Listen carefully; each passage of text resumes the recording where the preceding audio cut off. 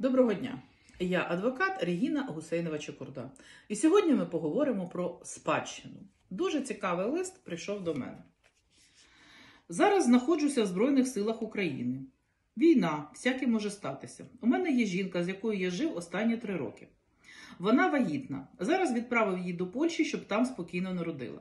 Якщо зі мною щось станеться, чи отримає вона виплати. Ми не одружені, але усі знають, що ми разом. Ох, це усі знають. Цей чоловік е, не написав мені, чи має він якихось інших е, спадкоємців.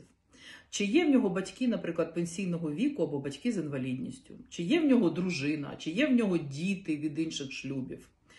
Нічого про це він не написав. Е, Що ж стосується цієї конкретної ситуації, то я б радила цьому чоловіку одружитися з цією жінкою, якщо він хоче, щоб вона не залишилася без коштів для існування, якщо раптом, не дай Боже, з ним щось трапиться.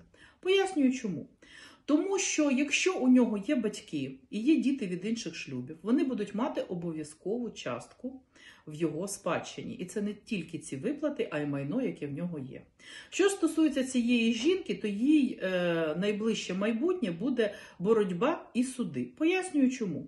Тому що спочатку їй доведеться доводити в суді факт спільного проживання однією сім'єю.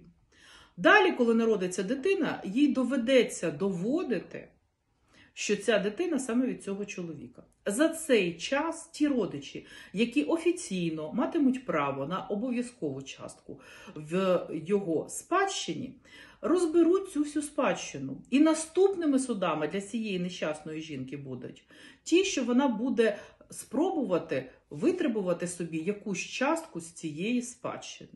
Тобто, замість спадщини в грошах і е, в якихось е, інших матеріальних цінностей він заповідає цій жінці суди, суди, суди. А це ще і немаленькі витрати. Тому я раджу вам одружитися з цією жінкою. І тоді вона буде мати право претендувати на ваш спадок. Це і виплати, і майно, яке у вас є. І дитина, народжена в шлюбі, теж е, буде мати право на свій, свою долю в спадщині. Я б хотіла ще зауважити один момент. Дуже часто питають: а якщо я напишу заповіт, то це ж означає, що все отримає той, на кого я запишу. Ні, це не так. Тому що, як я казала раніше, є ті люди, які будуть мати обов'язкову частку у вашому спадку. Тобто це ваші батьки. І як би не печально це звучало, що, можливо, ви з батьками своїми не спілкуєтесь, або ваш батько ніколи вами не займався і залишив сім'ю, коли ви були маленьким, все одно ваш батько буде мати е, право на певну частку в вашому спадку. Якщо у вас є діти, і вам здається, що у вас є якась домовленість, ви з ними домовилися, їх забезпечили, хочете ці фінанси віддати чи свій спадок іншій людині, я вас розчарую. Діти теж будуть мати е, частку в обов'язково в спадщині. І всі діти, незалежно від шлюбів, якщо це ваші діти, вони будуть мати однакові частки. Якщо ви хочете, щоб ваше майно дісталося саме якійсь конкретній особі, і ця конкретна особа не є вашою ні чоловіком, ні дружиною, то я вам раджу оформити при вашому житті договір, наприклад, дарування. Так, багато з людей не хоче оформлювати цей договір, але подумайте про те, що після вашої смерті вашим майном ви вже не зможете розпоряджатися, і ним буде розпоряджатися закон.